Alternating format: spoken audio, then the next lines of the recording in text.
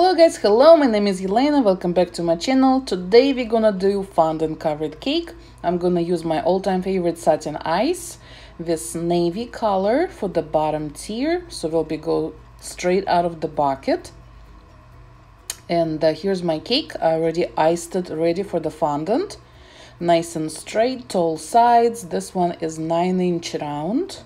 That will be bottom and then we're gonna have a top tier for it okay and we're gonna roll the fondant enough to cover the top of the cake and of course for the side so about a pin this large Wilton rolling pin uh, diameter so that should be good. All right so I'm gonna break some fondant off just enough for my project. And I'm gonna start to knead it to soften it up so we can roll it all right so who works with fondant know how hard this process is. So this is not one of my favorite parts but can't go without it right? All right so just knead knead it until it's nice and soft and pliable and that way we can roll it nicely and it's not gonna crack on us. All right so that's about right. See so the rolling pin pretty much fits so that should be good for our cake size. So I'm helping with my rolling pin drape fondant over my cake just like so.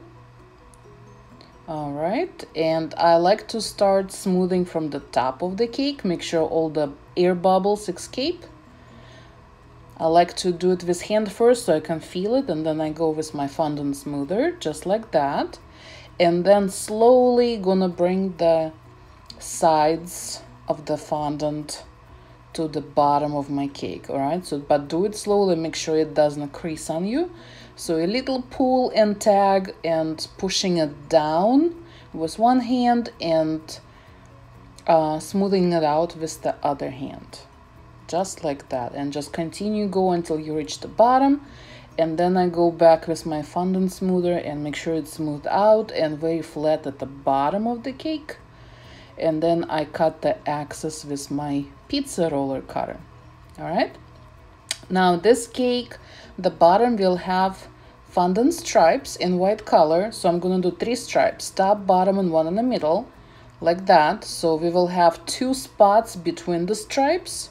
So total will will have basically five stripes total. I'm gonna use my pizza wheel cutter. I have the one that will cut four stripes, so I need five, right? So I'm gonna pretend I have another wheel at the end of it, and I'm gonna eyeball it and stretch my pizza cutter like for five even stripes for the cake. I hope that makes sense. All right, and I'm gonna cut it out using just again guys you always asking in the comments what i'm using to glue my fondant and it's always easy answer simple just plain water. Just a little on the brush. I guess the trick is not to make it soaking wet but just a little tacky and fondant sticks right to it. All right so now i'm gonna roll my strip one at a time. Very gently. Don't try to mush it just like that and pick your cake side where you want to start. Attach the end of it make sure that sticks make sure that doesn't slide down. And slowly and gently turn your cake very slow and try to place your stripe nice and even. All right so at this point i'm not pushing fondant to the cake hard just make sure i can unpeel it to correct it if I need to, okay? So just enough so it kind of hangs in there, just like that. See, it's a little uneven, so that's okay. then I'm gonna roll my fingers over the top of the cake. See, like there I was a little too high, so I was able to take it off and stick it right back. All right, so run your fingers on top of the cake so it doesn't stick above your cake edge. Make sure it's even. We'll cut the excess of the ribbon. Just like that. See it's a little uneven but because I didn't really push the fondant into the cake it's still movable. See so I can just gently push it from the bottom up just like that. See and it moves. See? So you can play with that. See just like that so make sure top doesn't stick up and the bottom is kind of even. Sometimes people have a little um, like a guides for the bottom part and just lay the stripe over it. I don't have it so I just have to use my judgment use my eye make sure it's kind of looks even. And of course on stripes it is particular pattern so it's kind of hard to do. But just patience and it will all look good. All right so of course the bottom layer is the easy one. Just lay it on the board. All right so the same way. Make sure it's nice and flat. Cut the excess. Mush down the little end. And again when you join the ends of the fondant if it sticks out a little bit you can just use your X-Acto knife and cut what doesn't look right okay now for the center stripe again just use your judgment so try to place it as centered as you can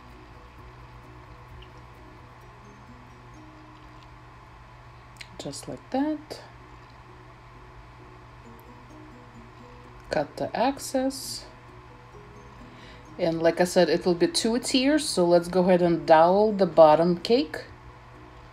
And I'm using Wilton dowels, the plastic.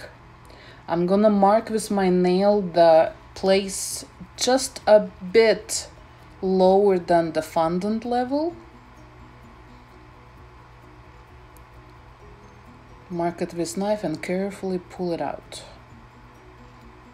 all right and now the rest of the dowels I'm gonna use this part of the dowel as my guide all right I don't worry about taking the cake part out? Just let it be. So cut it out. And the next one I'm gonna use this cut piece as my guide. So I don't go with each piece back to the cake. I just use the very first cut. That way they're all the same. And if your bottom layer actually a little uneven but your dowels are all even so the top layer will go uneven. Does that make sense all right so go ahead put the dowels in. Make sure they go nice and straight. Just like that. And the very first dowel that we have with cake inside goes back to the first hole where we started. Just like that. In the top cake ta-da! I already put fondant on it so it's ready to go. So just quick easy transfer. Make sure it's centered i think we're good. I like also mark my front of the cake so i kind of spin the cake around and pick the best side and that will be my face. And i put a little dot of fondant make sure I don't forget where it's at. All right now just a little white fondant I'm gonna cut and make little bow. Like a bow tie. That's about right. Again don't use any rulers just eyeball for the size. All right so make two loops. Make sure they the same. All right using again a little bit of water let's put the center loop right in the middle. And wrap it over just like that. So here's our little tie.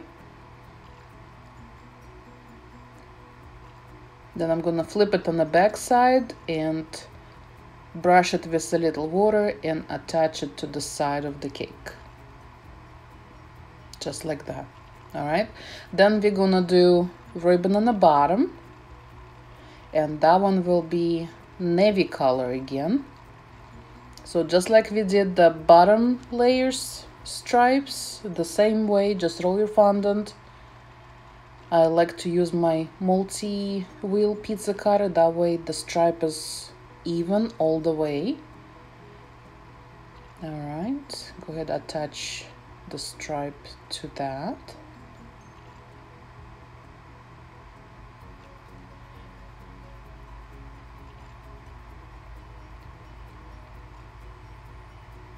Okay, where's a little uneven? Use X-Acto knife to fix that. There we go.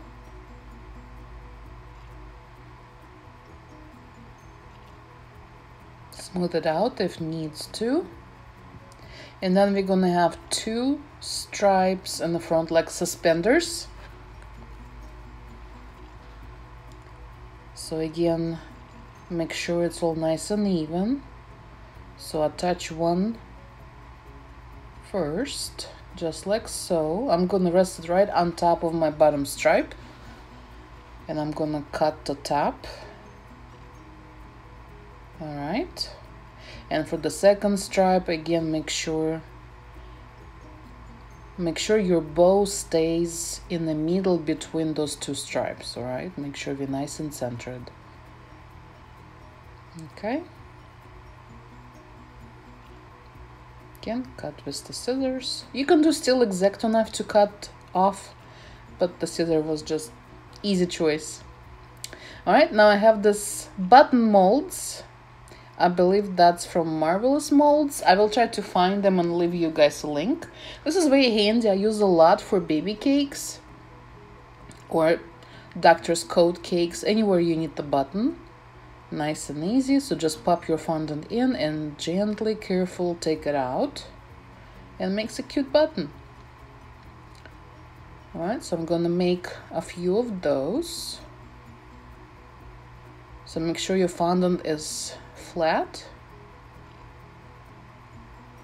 just like that and just carefully take it out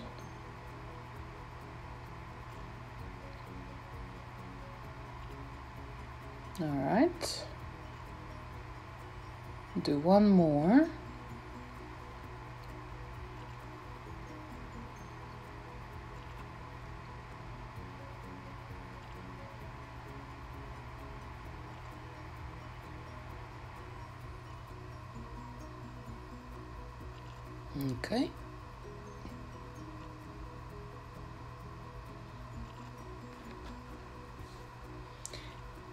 And now I'm gonna make a couple big ones.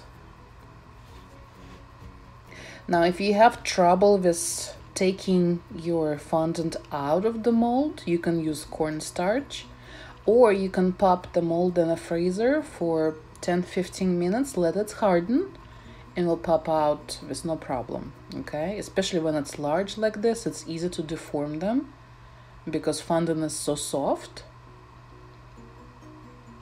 so try different ways see how it works.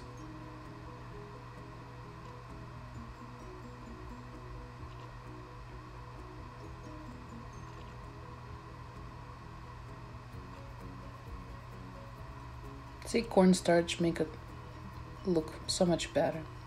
All right and i'm gonna paint them in gold so i'm gonna do sides first because it will be hard to color them on a cake without being messy. So i'm gonna pre color them first all the buttons. And then i'm gonna do a middle. Just like that.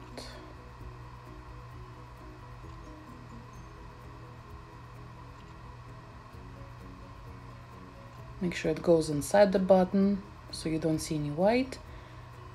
And once I'm added I'm gonna paint my bow tie in gold as well.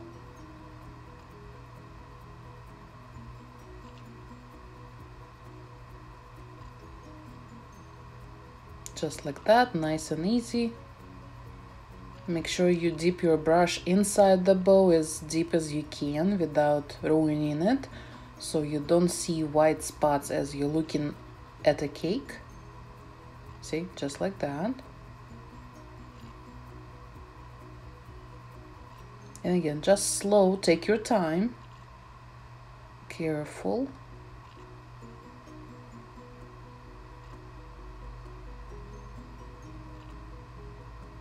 And make sure it's all nice and covered.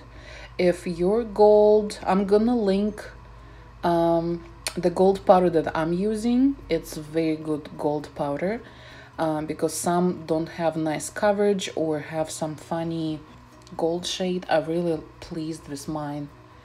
so I'm gonna link just check out my description box in the video okay? All right so now I'm gonna attach my buttons. Just like that. The big ones will go at the end where suspenders come.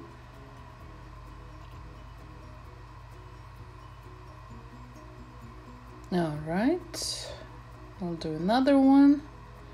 And then of course you touched the gold with your fingers before it dried completely. So if you need um, retouch some stuff so that's time right now.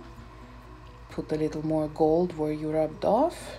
If some uh, buttonholes not too visible if gold kind of covered it you can always go with your uh, modeling tools and push back in to pronounce them a little more. All right if you drip some gold on a cake you can always just wipe it with water and because it's a dark color on the cake and my hands were in cornstarch a lot I like to steam my cakes so they will be back nice and shiny and clean looking. All right just regular steamer. All right so here we go. This is final cake. What you guys think? Don't forget to give me thumbs up subscribe to my channel and we'll see you back in my next video. Bye. Love you so much